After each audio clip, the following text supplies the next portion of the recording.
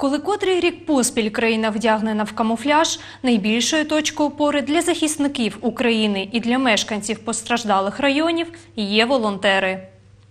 Від учора в Миколаєві розпочали прийом допомоги для тих, хто потерпає від агресії ворога в Авдіївці. Допомогу приймають на волонтерських пунктах на території міжміського автовокзалу та пасажирському залізничному вокзалі. Крім того, приносити речі першої необхідності можна на вулицю Фалеївську, 24, в офіс просто страхування та в приміщення Вітовської районної адміністрації за адресою проспект Богоявленський, 306. Люди відгукуються на призов і несуть, що можуть.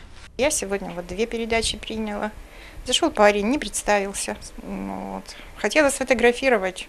Единственное, что выдавила из него, зовут Дима. Молодой парень, принес пакет, печенье, э, чай, консервы, макароны для Авдеевки. Вы же принимаете? Я говорю, принимаем.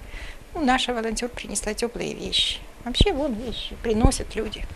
Всю зібрану допомогу відвозитимуть до Авдіївки безпосередньо волонтери. Всі, хто може і хоче допомогти, можуть звертатись до зазначених вище адрес. Необхідні речі, продукти довготривалого зберігання, печиво, макаронні вироби, консерви, чай, каву, термоси, маленькі подушки, ковдри, предмети особистої гігієни та теплі речі. Валентина Гурова, Артем Клименко, телевізійні новини Миколаївщини.